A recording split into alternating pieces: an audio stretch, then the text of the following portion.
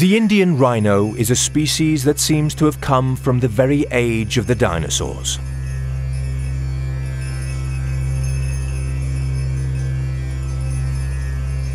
Its characteristic skin folds and single horn make it very different from other species of rhinoceros.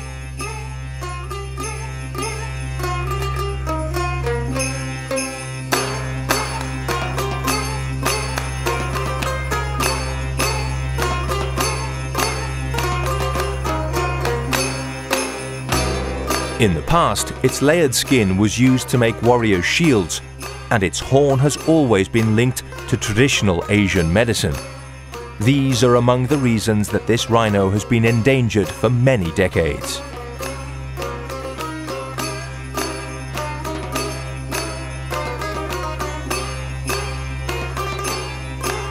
It spends most of its time in watering holes and lakes.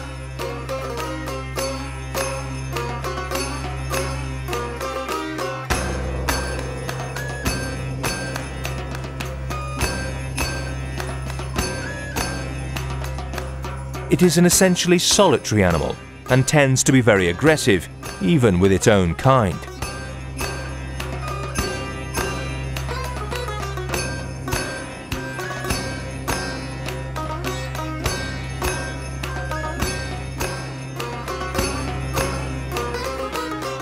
The resilience of its skin means it has no predators, and only the young will, rarely, have to face a tiger.